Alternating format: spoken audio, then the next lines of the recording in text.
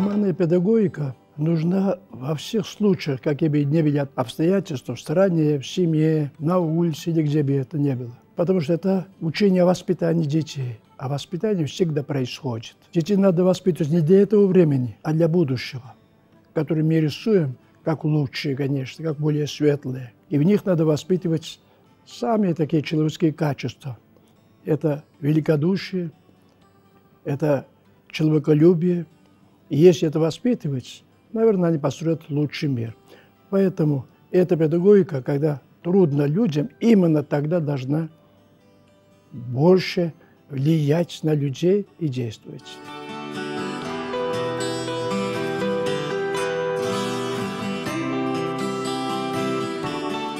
О воспитании говорят много и всюду, потому что педагогика – это общая человеческая культура, мышление. Это не особая сфера академии образования или э, как это ученых по педагогике, а это общая человеческая культура мышления. Любой папа, любая мама, независимо от профессии, уже есть воспитатели учителя. Но когда говорят о воспитании, забывают о цели. А чего мы хотим от ребенка? Годы быстро улетят, 10-15 лет, и он уже взрослым становится. И чему мы хотим подвести его? Вот об этом не говорят. Просто говорят, что сейчас тогда вот так вести себя, сяк вести себя. Я думаю, что только гуманная педагогика владеет истинной ценностью воспитания, смыслом воспитания точнее. Это есть великодушие и благородство. Если воспитывать с ранних лет эти великолепные общечеловеческие качества, ребенок никогда нигде не пропадет. Но самое главное, и великодушие, и благородство – они истекают от понятия духовности. Сейчас Россия переживает сложный период. И одновременно издается удивительный указ президента о духовности. Там просто перечисляются духовные ценности. Но если эти ценности будут разрабатывать для школы бездуховные люди, что и часто происходит, то грош цена этому указу, потому что не исполнится это. Духовность означает, что человек имеет веру, дух – бессмертная сущность, он, этот дух, от Бога нам дается, и на почве духа и возникает духовность. Если мы этого забудем, воспитание будет происходить, будут воспитаны такие, как я, как вы, мы неплохие люди. Но мы же хотим лучших, чем мы сами есть с вами. Я исхожу от Ушинского, я хочу еще раз провозгласить его великолепную идею. Истинное гуманное образование – есть воспитание духа человеческого. И еще одно. В образовании должно присутствовать разумная религиозность. Это тоже от Ушинского. Этот год посвящается Ушинскому. Ну и давайте будем строить наше образование по его заветам.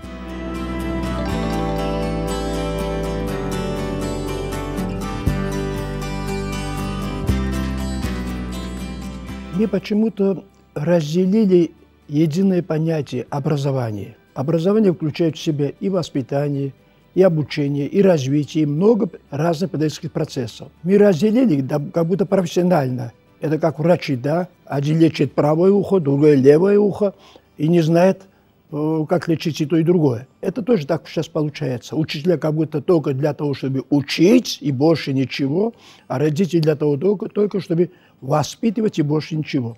И это очень опасный путь. Мы все должны воспитывать. И улица, и театр, и кино, и интернет, и родители. Всюду главным является именно воспитание лучших качеств человека. Пусть каждый осознает то, что воспитание должно произойти и в школе, и на уроках, и в коридорах школы, и в семье, и всюду, где только ребенок находится.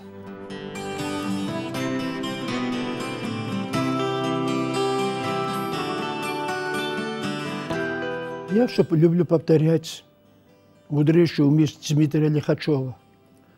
Он так просто сказал, где хорошие учителя, там хорошие ученики. Значит, есть и плохие учителя. Кого больше, хороших или плохих в школе? Хороших людей, учителей от Бога, учителей талантливых, учителей творческих, их очень мало. Ну, процентов 5-7, не больше. А остальная часть – это хорошо и те, которые хорошо исполняют то, что предписано им. Это тоже нужно. Но, к сожалению, есть большая часть учителей-двоечников. На двойках, тройках проведенные уроки, конечно, ущемляют детей. Но на этих же уроках дети больше наказываются, чем учителя, которые действительно заслуживают наказания из-за того, чтобы уроки на двойках, на тройках выстроили. Учителя готовятся в вузах в первую очередь, потом переквалификация, потом еще что-то. Но в вузе совершают в первую очередь подготовку учителей. Я обращаюсь сейчас к моим коллегам, профессорам педагогики и разных методик, и философии тоже. Может, нам нужно очень сильно поправить наши образовательные курсы.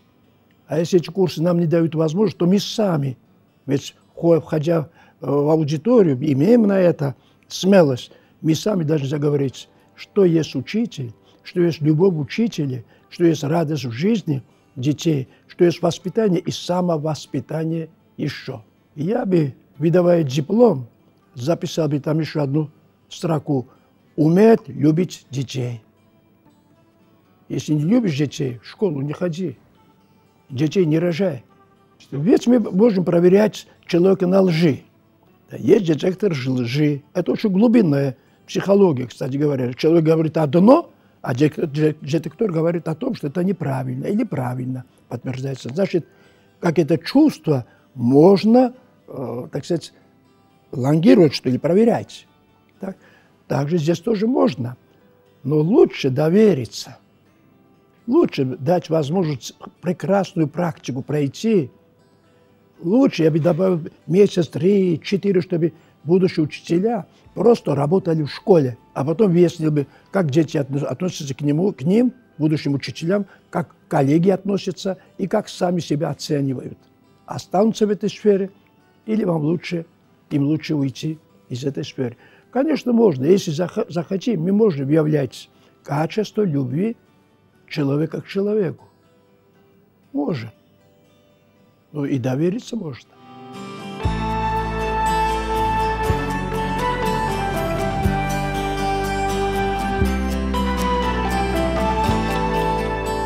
Эта идея пришла в голову моему другу Давиду Йосифовичу Фельдштейну, вице-президенту РАО. Я был в его кабинете, и он сказал, пора тебе книги издавать, твои книги, твои труды.